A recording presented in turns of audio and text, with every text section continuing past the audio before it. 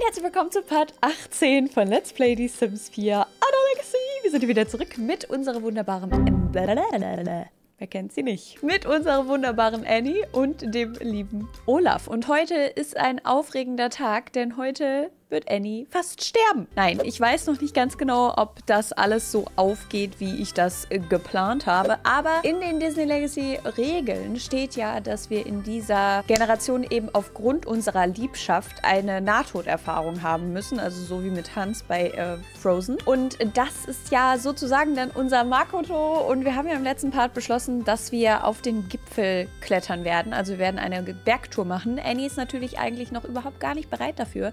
Aber aber sie möchte Makoto auch irgendwie beeindrucken. Er hat sie eingeladen, dass sie zusammen diesen Berg erklimmen können und wir werden sehen, was da heute genau passieren wird und äh, ja, wie gefährlich es dann am Ende wird. Ich meine, das Risiko ist tatsächlich trotzdem gegeben, dass Annie wirklich stirbt. Also wir müssen auf jeden Fall die ganze Zeit speichern, damit wir hier nicht irgendwelche Probleme haben. Und falls sie wirklich sterben sollte, tun wir einfach so, als wäre sie ins Koma gefallen oder so, okay? Und dann beleben wir sie wieder. Also, wir machen das schon. Warum lache ich? Das ist überhaupt nicht witzig. Auf jeden Fall freue ich mich aber sehr auf diesen Part. Im letzten Part habe ich euch am Ende noch gefragt, ob wir vielleicht doch ein bisschen Interesse an unserem attraktiven Kollegen haben. Das ist der Arzt. Ich glaube, wie heißt der? Hinata? Wie heißt er so mit Nachnamen? Ich weiß es gerade nicht mehr. Auf jeden Fall haben wir ihm Umstelling gegeben und er ist Chefskiss geworden. Also ich bin sehr gespannt, was ihr dazu zu sagen habt, aber darum werden wir uns ein anderes Mal kümmern, denn heute geht es erstmal an unseren ersten Step, nämlich die Nahtoderfahrung. Ich wünsche euch ganz viel Spaß mit diesem Part. Let's go!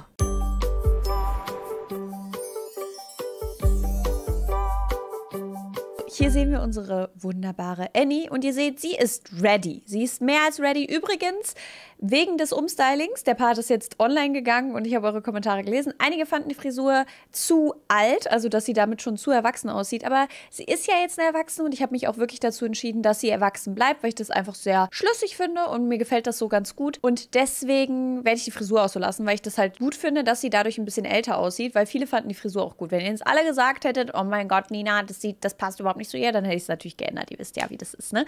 Aber ein Kommentar hat mich sehr überzeugt, denn eine Person hat geschrieben, dass sie selber Krankenschwester ist und original immer diese Frisur trägt. Und dann dachte ich so, hör mal, perfekt, machen wir. Deswegen lassen wir die Frisur jetzt erstmal so. Bedeutet ja nicht, dass wir nicht vielleicht später trotzdem nochmal ein Umstelling machen. Ansonsten, wie gesagt, steht Annie jetzt hier mega ready in ihrem kleinen Badezimmer. Das haben wir ja auch, ich glaube, im letzten Part noch ein bisschen umgestaltet. Oder war es der vorletzte Part? Ich weiß es nicht mehr. Ihr seht schon, Oli ist mega dreckig. Er braucht dringend eine Badewanne und ihr wisst, wie das bei mir ist. Ähm, ich glaube, es läuft wieder auf eine Outdoor-Badewanne hinaus, weil was soll man machen? Ich wünschte, ich hätte einfach die alte Badewanne mitgenommen, also die aus dem alten Haus, aber Pustekuchen. Haben wir natürlich nicht. Und Musik haben wir auch nicht. So, aber ich hole jetzt einfach die Badewanne wieder, die wir halt immer kaufen. Ich weiß, es ist absolute Geldverschwendung hier wieder, aber wir brauchen halt eine Badewanne für unseren kleinen Oli. 150 Simoleons, das können wir gerade noch verkraften.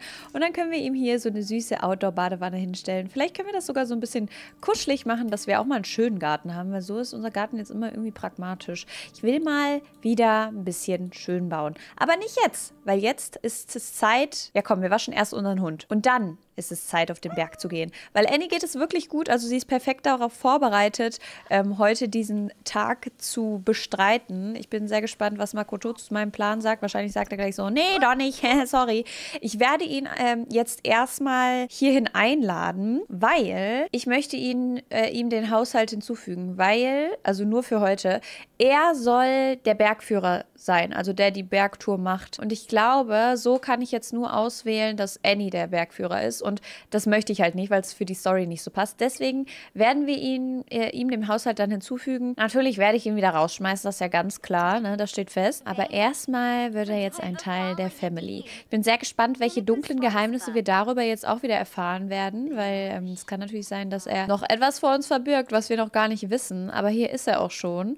Und wir werden jetzt direkt mal zu ihm gehen und ihn natürlich liebevoll begrüßen, weil wir haben ihn ja jetzt auch länger schon nicht gesehen. Er hatte sich ja nicht mehr bei uns gemeldet. Ich meine, wir auch nicht, ne? Aber ihr wisst, wie der Hase läuft. Frost Infinity ist äh, nicht diejenige, die sich meldet. So ist das immer. Und er ist direkt angespannt.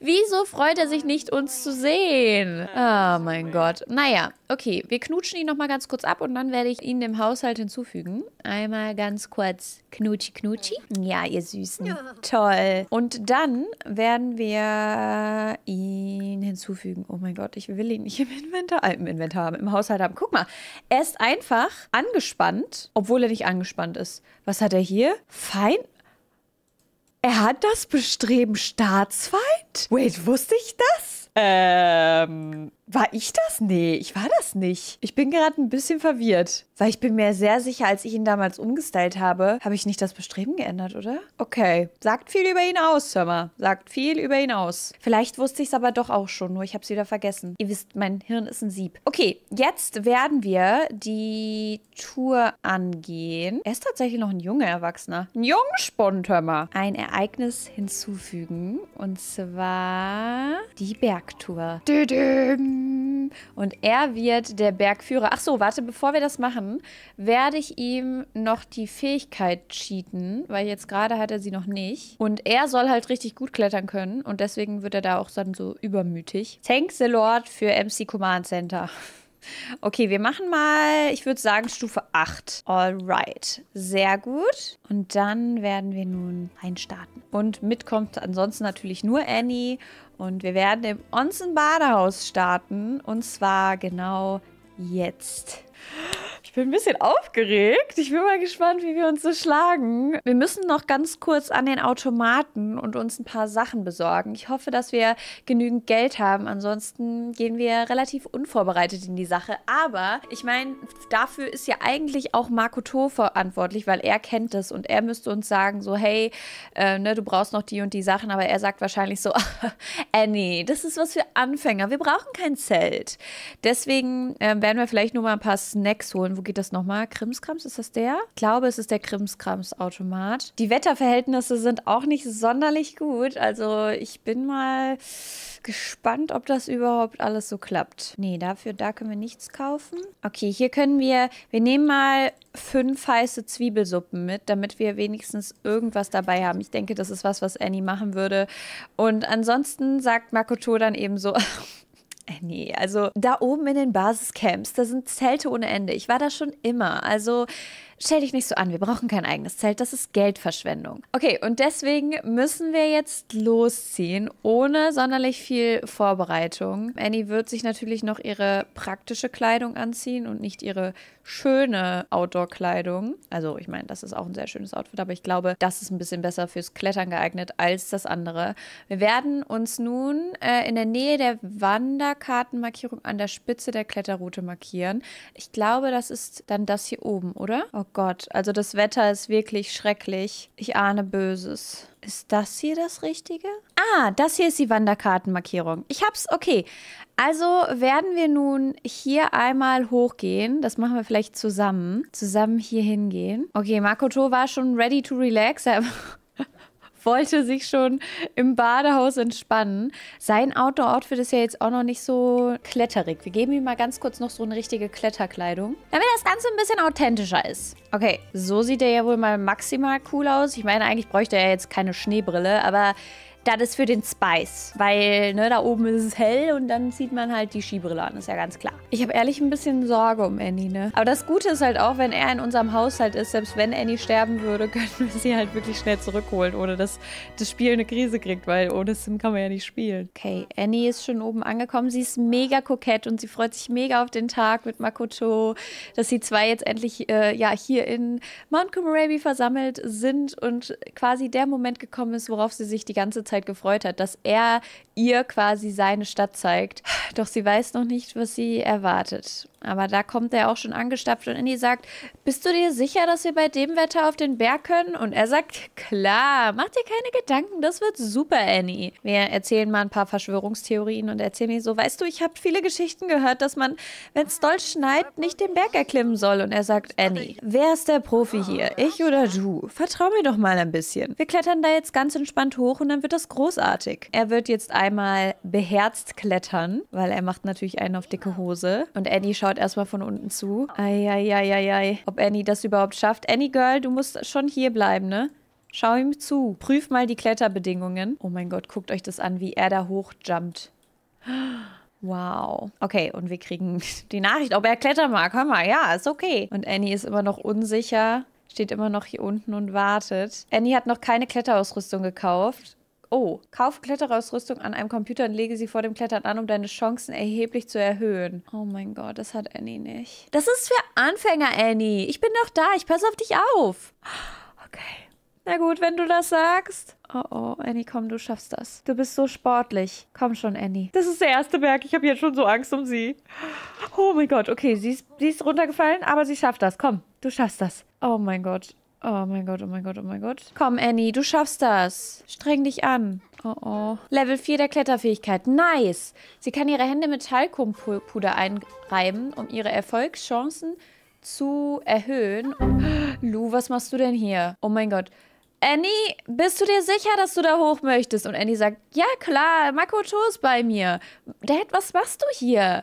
Ich wollte dich einfach nur noch mal fragen, ob du dir wirklich sicher bist, dass heute der perfekte Tag ist, um auf diesen Berg hochzuklettern. Dad, ich mach das schon. Lass mich bitte in Ruhe. Oh, okay, Annie. Pass auf dich auf. Und er geht jetzt wieder. Oh mein Gott, aber süß. Das passt ja so schön, dass er dabei war quasi. Und dass er weiß, dass Annie hier jetzt gerade eine lebensgefährliche Aktion macht. Oh mein Gott, aber das sieht sehr gut aus, Annie. Du wirst es schaffen. Was stand da jetzt noch? Ihr stehen mehr Klettermöglichkeiten zur Verfügung, um die mit, äh, Kletterrouten mittlerer Höhe zu bewältigen. Okay. Annie, ja, you got this. Nice. Sehr gut. Oh mein Gott, ich habe es geschafft. Ich kann es nicht glauben.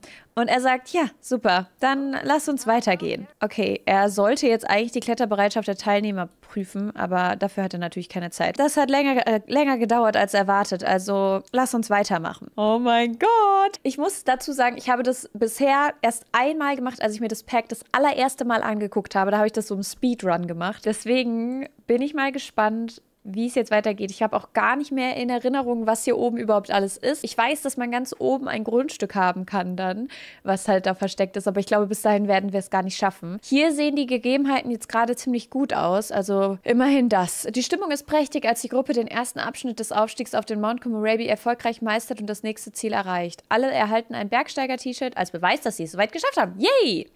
Okay, dann gehen wir weiter. Ich weiß überhaupt nicht, wo lang. Okay. Ähm, vielleicht können wir jetzt schon mal die ganze Zeit so ein bisschen streiten, weil ihm das halt alles zu lange dauert. Ähm, wir werden einmal ganz kurz ein bisschen böse zu ihr sein. Äh, werden ihr sagen, weißt du, Annie, dafür, dass du immer sagst, du wärst so sportlich, hat das ganz schön lange gedauert. Und sie sagt, hey, das ist ganz schön gemein. Oh, ich liebe es. Äh, lass uns einfach weitergehen. Da oben ist das Zelt, glaube ich. Okay. Dann gehen wir jetzt, stapfen wir mal hier hoch und werden weiterziehen. Hier ist ein Pipi-Busch und ein Zelt, in dem man schlafen kann. Und hier ist eine Brücke, über die man gehen kann. Darunter ist eine tiefe Schlucht. Oh mein Gott, das ist schon sehr, sehr geil gemacht. Also ich mag das schon richtig gern. nicht ohne Grund gehört Ab ins Schneeparadies auch zu meinen Favorites. Jetzt nicht vom Gameplay her, so dass ich sage, ich muss das jeden Tag in meinem Spiel haben, aber das Pack alleine bringt so viel neuen Content und wirklich halt so dieses Gefühl, okay, wir machen jetzt hier einen richtigen Skiurlaub mit allem, was dazugehört und so, finde ich richtig geil. Und sie stapft natürlich wieder hinter Makoto her und er hat keine Geduld dafür, dass sie hinterherkommt. Sie hat auch langsam Hunger und sagt, hey, können wir eine kleine Pause machen? Und er sagt, guck doch das Wetter an, Annie. Wir müssen das ausnutzen. Lass uns weitergehen. Essen können wir immer noch später mit einer richtig guten Aussicht. Ich kann diesen Assi auch wirklich gut verkörpern, ne? muss, ich mal, muss ich mal sagen. Ihm geht es halt auch noch wirklich richtig, richtig gut. Ihm ist das alles komplett egal. Wir sollten wieder die Leute markieren, Bedingungen der Kletterroute prüfen, eine Steinwand erklimmen, einen Sim mindestens eine Stunde ausruhen lassen. Das ist natürlich wieder was, was ihm absolut nicht wichtig ist. Können wir? Können wir nicht. Warum nicht? Also, ihr wisst, was ich vielleicht, ne? Genau. Wartet mal ganz kurz. Mit Schwielen an den Händen prallen. Guck dir das an. Diese Hände sorgen dafür, dass ich so schnell diesen Berg heraufklettern kann. Jetzt mal ganz kurz. Also, wenn wir schon mal hier sind. Also, äh, nee, ich hab's gerade nicht so gemeint. Weißt du, Du siehst heute außerordentlich gut aus. Warum können wir da drin kein Techtelmechtel machen? Also das wäre, glaube ich, so was Manipulatives, was er tun würde. Wir gucken mal, ob wir gleich die Möglichkeit dafür bekommen. Wir küssen sie mal. Hey, Annie, ich habe es wirklich nicht so gemeint. Das war doch nur ein Witz. Ich wollte doch nur ein bisschen stacheln, weißt du? Was ich lieb, das neckt sich doch. Das sagt man schon seit den Zeiten meiner Großeltern. Also du machst das wirklich gut, glaub mir. Und dann werden wir jetzt nochmal kurz sie umarmen. Es ist so lustig mit dir. Ich verbringe wirklich wirklich gerne Zeit mit dir und hoffe, dass es dir genauso geht. Okay, und er denkt sich einfach nur so, okay, können wir jetzt weitergehen? Weil anscheinend können wir leider kein Techtelmechtel machen. Ich glaube, dafür sind die zwei gerade zu angespannt. Gut, äh, nee, genug Pause gemacht. Lass uns weitergehen. Der Berg wartet nicht und wir klettern natürlich wieder beherzt und Annie klettert vorsichtig. Sie ist jetzt auch wieder motiviert. Dadurch, dass er ihr ein bisschen Zuspruch gegeben hat, weiß sie jetzt, okay, ich, ich kann das schaffen. Ich, ich werde das schaffen. Und los geht's. Wer als erster oben ist? Und Makoto, äh, Annie sagt, Makoto, das ist nicht fair pass bitte auf dich auf. Ich habe das Gefühl, dass es hier ziemlich gefährlich ist. Oh mein Gott, ich ähm, bin gleich bei dir. Ich bin schon oben. Und er fühlt sich natürlich wieder richtig krass, dass er oben angekommen ist. Annie, wo bleibst du denn? Ich bin ja gleich da. Warte. Es ist nicht so einfach, weißt du? Der guckt von oben runter und macht noch ein paar Setups. Oh mein Gott, wie arrogant kann man eigentlich sein? Oh mein Gott. Okay, ja, ich habe es geschafft. Ich bin da. Wir können weitergehen. Und Annie ist jetzt auch ein bisschen, bisschen sauer. Deswegen stapft sie vielleicht schon ein bisschen voraus. Okay. Wir müssen... Ich glaube... Wir müssen einfach geradeaus. Lass uns weitermachen. Wir machen weiter. Oh mein Gott, die wollten gerade wieder irgendwas Romantisches machen. Oh, das kann schön aufregen, muss ich sagen. Siehst du, wir hätten nicht so lange rumtrödeln sollen. Jetzt ist hier oben schlechte Sicht, aber pff, kein Problem für mich. Wir schaffen das natürlich trotzdem. Och, Kartoffeln. Süß, hier wachsen einfach Kartoffeln. Oh, Makoto, da ist ein Feuer. Wir könnten uns kurz ausruhen. Und er sagt, ausruhen? Wir werden uns nicht ausruhen, Annie. Wir haben doch noch ein Ziel vor Augen. Und wir haben die Nachricht bekommen, der Aufstieg zum Tokezu-Eisfall war kalt und wunderschön. Auf diesem Wegabschnitt gibt es Raum für Verbesserung. Der Bergführer hat das Merkmal mittelmäßiger Bergsteiger erhalten. Oh, es ist ganz schön rutschig hier oben. Und ziemlich kalt, Heidewitzka. Oh, guck mal, Schneegewitter und Frost. Okay, Makoto, bist du dir sicher, dass wir weitergehen sollten und nicht umkehren? Nein, nein, so ein Quatsch. Wir, wir werden weitergehen. Das bisschen Schnee kann uns doch nicht aufhalten. Ich bin mir nicht so sicher, ob ich diese Wand hochkomme. Ach, Annie, du hast es bis hierhin geschafft, also schaffst du es auch weiterhin. Na los, komm. Oh, Makoto, es donnert. Ich... Ich würde lieber zurückkehren, weißt du. Ich habe auch mittlerweile ganz schön Hunger. Hör auf, rumzuheulen. Die Kletterwandbedingungen können wir nur prüfen. Sie kommt hier gar nicht hoch. Guck, wie einfach das ist. Tu dir keinen Zwang an, folg mir. Makoto, ich schaff das nicht. Na komm schon, Annie. Ich bin schon fast oben. Willst du, dass ich alleine hochgehe? Deine Kletterfähigkeit ist zu gering, um hier zu klettern. Makoto, ich, ich kann das nicht. Ich kann von hier nicht weitergehen. Ich bin oben angekommen. Was ist mit dir? Oh mein Gott. Ich weiß jetzt nicht genau, wie wir weiter fortgehen sollen. Weißt du, ich glaube, ich will mich noch ein bisschen ausruhen. Und er sagt, oh mein Gott. Ja, dann, dann tu es halt. Ich warte hier oben auf dich. Sie wird sich jetzt ein bisschen hier ausruhen und merkt langsam, dass ihre Kräfte nachlassen. Und sie trinkt eine ihrer Suppen, die sie zum Glück mitgenommen hat. Das tut gut. Oh mein Gott, habt ihr das gesehen? Dadurch muss sie voll pipi. Oh no. Hier geht's jetzt dann weiter. Wow. Es ist wirklich schön hier, aber auch wirklich gefährlich und es wird langsam dunkel. Lou ruft nochmal an. Hi, Annie, ich, äh, ich. Äh, äh, äh, Dad, ich kann dich nicht verstehen. Ich. Äh, Verbindung abgebrochen. Und sie merkt langsam, dass die Wetterverhältnisse immer schlechter und schlechter werden. Makoto, können wir nicht zurückgehen? Und er ruft von oben runter, Annie, jetzt ist es zu spät zurückzugehen. Wie willst du nach unten kommen? Wir haben keine Sicht. Und was schlägst du vor, was wir nun tun? Naja, pff, ich denke, wir bleiben hier? Oh mein Gott. Ich komme jetzt erstmal wieder zu dir runter. Wir müssen das Feuer anbrennen halten. Wir können es uns gemütlich machen mit. Annie, komm her. Wir setzen uns zusammen ans Feuer. Okay, ich bin mal. Also, Annie macht hier gerade einen Feuertanz, keine Ahnung. Wir werden das zusammen schon durchstehen. Ich habe das schon tausendmal gemacht, weißt du? Hey, das ist ja voll die süße Interaktion. Sweet. Ich bin doch bei dir, Annie. Mach dir keine Sorgen. Und natürlich macht Makoto sich selber Sorgen. Er weiß nicht, wie die beiden hier die Nacht überstehen sollen ohne Zelt und ohne viel zu essen. Ich werde nochmal hochklettern und gucken, ob ich, naja, oben irgendwie eine Art Unterschlupf oder so für uns finde, okay? Oh mein Gott. Wir wurden jetzt hier zurückgelassen. Niemand weiß, dass wir hier sind. Es war eine Herausforderung, aber nachdem die Gruppe den Tokezu Eisfall durchquert hatte, erreichte sie schließlich den Gipfel. alle sind erleichtert, dass es vorbei ist. Die Gruppenmitglieder können eine Ausgabe. Ah, okay. Mhm. Makoto, ähm, ich bin mir nicht sicher, ob das so gut ist, dass wir jetzt hier sind. Ach, Annie, du machst dir immer zu viel Gedanken. Sie schaufelt ein bisschen Schnee. Ich werde mich mal umsehen, ob ich hier irgendwo einen Unterschlupf für uns finde. Ich weiß, dass es irgendwo eine Höhle gibt, aber ich glaube, das ist nicht auf dieser Höhe. Und das Feuer ist ausgegangen. Oh oh. Hier. Eingang versperrt. Es ist eingestürzt? Annie, hier oben ist eine eingestürzte Höhle. Und was bringt uns eine eingestürzte Höhle? Keine Ahnung, ich wollte es dir nur sagen. Wow. Hat das dann mit den Wetterverhältnissen zu tun? Und die Wetterverhältnisse werden immer schlimmer und schlimmer. Und den beiden geht es immer schlechter und schlechter. Annie, ich versuche eine Geschichte hier zu erzählen. Und Annie merkt, wie sie langsam müde wird. Und sie kämpft sich durch die eisige Kälte, immer noch auf der Suche nach einem Unterschlupf. Sie denkt, sie könnte ein Iglu bauen. Makoto wird sich jetzt gleich einpieseln. Und jetzt wird er sauer weil er sich eben jetzt eingepieselt hat und das ist ihm natürlich alles super unangenehm. Annie stinkt auch schon mega. Weißt du, Annie, das ist einfach nur deine Schuld. Jedes Mal, wenn ich hier alleine war, war gar nichts. Jetzt bist du dabei und naja, das passiert. Ich habe hier oben noch nie festgesteckt. Und hör auf, diesen dämlichen Schneemann zu bauen. Es ist so Olaf. Oh mein Gott. Das ist so gemein. Hör auf, sowas zu sagen. Oh mein Gott, was will sie machen? Makoto plaudern. Annie, hör auf, ihn auch noch zu besänftigen. Ich weiß nicht so richtig, was wir jetzt hier machen sollen. Dein dämliches Handy bringt uns jetzt auch nichts mehr. Dann wird er jetzt nochmal sagen, ein Nichtsnutz bist du, Annie. Ein Nichtsnutz. Ich habe es von vornherein geahnt, als ich dich das erste Mal gesehen habe und du sagtest, wie sportlich du bist und wie sehr du an Extremsportarten interessiert bist. Pff.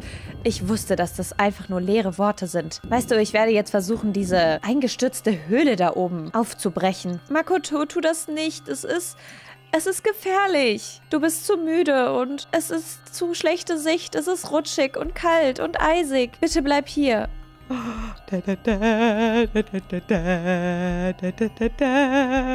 Sie lässt sich natürlich nicht davon abhalten, trotzdem hochzuklettern. Das ist alles gar kein Problem für mich, Annie. Nur weil es ein Problem für dich ist, heißt das nicht, dass es für alle hier ein Problem ist. Wir gehen jetzt getrennte Wege, okay? Er ist so gemein. Okay, ich habe dem Schicksal jetzt nochmal ein bisschen auf die Sprünge geholfen.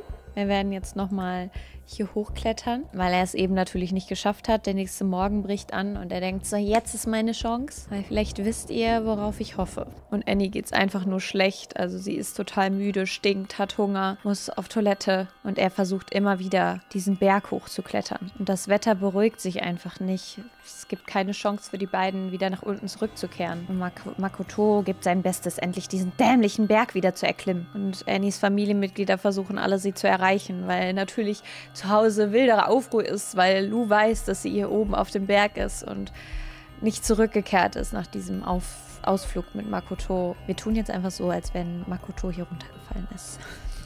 Und der ist ohnmächtig geworden. Und Annie macht sich natürlich Sorgen und weckt ihn auf. Makoto, du musst aufstehen. Wir. Oh mein Gott, das ruft auch noch an. Wir müssen versuchen, zurück nach Hause zu kehren. Ich, ich halte das nicht länger aus. Mir ist so furchtbar kalt und ich, ich will nach Hause. Ja, dann geh doch nach Hause. Eigentlich, naja, wollte ich gerne, dass gewisse Dinge passieren. Annie ist auch ohnmächtig geworden und es wird von Sekunde zu Sekunde anstrengender hier oben. Makoto haben seine Kräfte verlassen. Er schafft es immer nur ein paar Meter den Berg hinauf. Und plötzlich... Oh nein! ich wollte, dass er dramatisch stirbt. Ich hab's verkackt. Makoto bewegt sich plötzlich nicht mehr. Ich schaff's immer wieder, ne? Naja. Und Annie ist natürlich jetzt super verzweifelt, aber sie muss an ihr eigenes Überleben denken.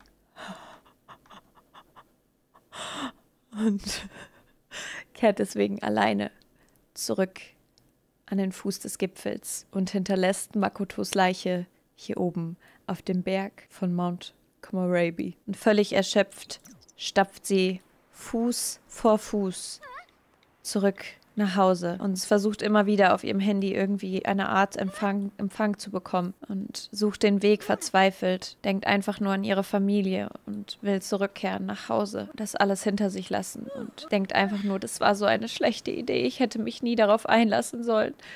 Jetzt ist Makoto da oben und Ich weiß nicht, was ich tun soll. Ich, ich will nicht enden wie er. Und sie läuft weiter und weiter und weiter und läuft immer wieder im Kreis. Ist wieder bei ihrem Schneemann angekommen. Und es wird von Sekunde zu Sekunde schlimmer. Sie bekommt immer mehr Hunger. Und da plötzlich hat sie das Gefühl, das Wetter klart ein bisschen auf. Sie sieht eine Chance. Und ihr Lebenswillen ist so stark, dass sie weitergeht, immer weiter. Denkt an Olaf, denkt an Lou, denkt an Janet und den Rest der Familie. Denkt an Elliot. Und endlich kehrt sie zurück nach Hause. Okay, also ich hoffe, es war euch nicht allzu dramatisch.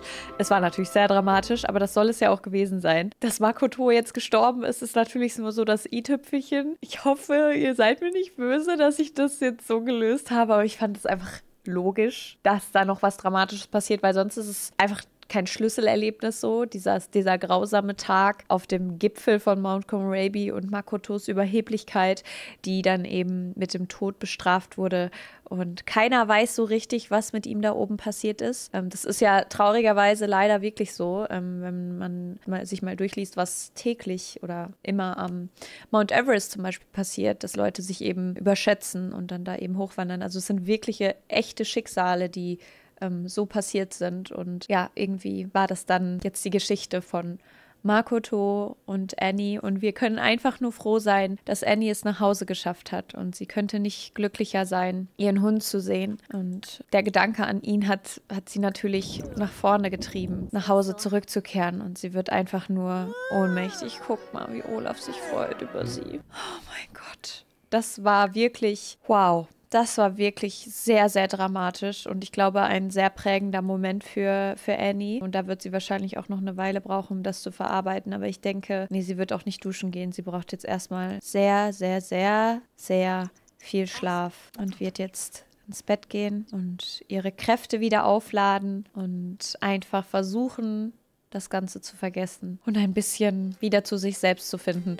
Okay, also ich hoffe, wie gesagt, sehr, dass euch äh, die Geschichte so auch Spaß gemacht hat und dass ich sie irgendwie schlüssig erzählt habe. Ich finde es sehr, sehr cool eigentlich und auch sehr passend und äh, bin gespannt, was ihr dazu zu sagen habt und bin gespannt, wie der Weg weitergehen wird, was ihr euch jetzt noch äh, so wünscht für Annies Geschichte. Ich hoffe natürlich, dass sie daran nicht zerbrechen wird. Ich meine, sie ist jetzt schon paranoid. Ich glaube, sie muss muss da jetzt erstmal wieder eine Menge aufarbeiten. Aber wenn es irgendwer schaffen kann, dann Annie. Also sie ist so eine selbstbewusste, starke Frau und hat schon so viele Schicksale wegstecken müssen. Und ich glaube, der Gedanke an ihre Mom hebt sie da auch wieder auf. Und ja, bin wie gesagt sehr, sehr gespannt, was die Zukunft bringt. Schreibt mir all eure Story-Vorschläge gerne noch in die Kommentare.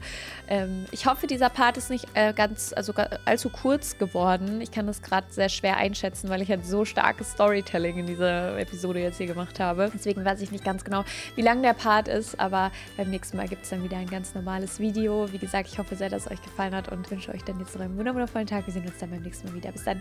Tschüssi!